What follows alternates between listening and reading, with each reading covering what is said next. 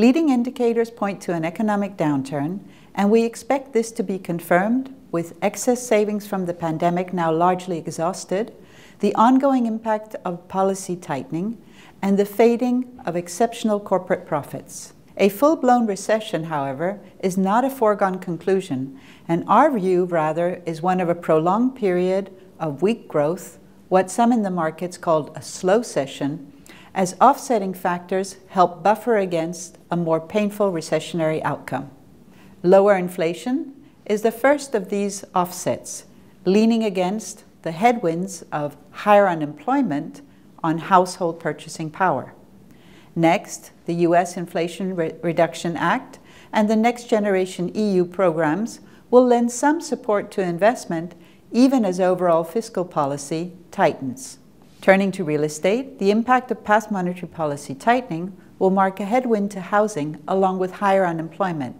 But we do not today see the same excess inventory overhang as we saw back at the time of the US subprime crisis.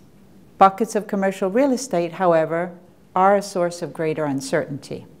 While bank credit conditions are indeed tightening, as a fully intended consequence of central banks' monetary policy tightening, an outright credit crunch is again today a far less likely scenario thanks to the much higher level of bank capitalization.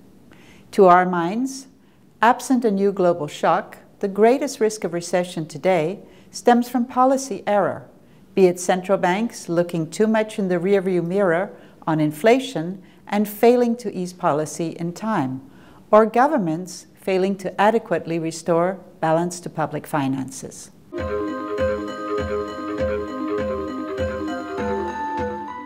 The negative headline inflation number for China in July triggered quite a few headlines talking about deflation.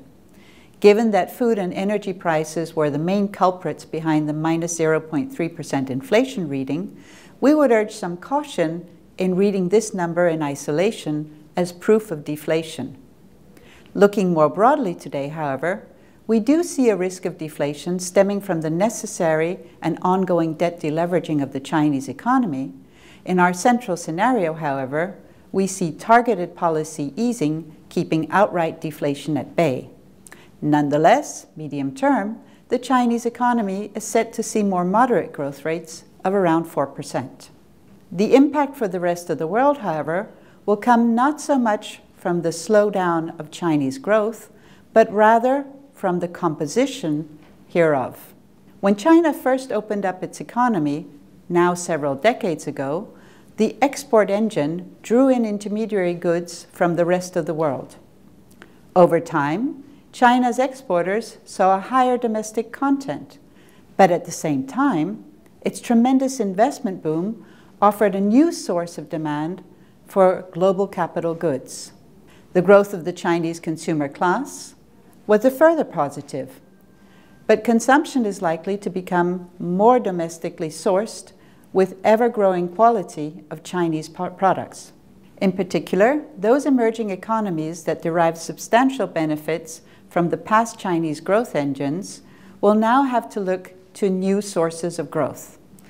Moreover, China's leading position in the green manufacturing and in supply of the minerals necessary for the energy transition will mark an important competitive force globally.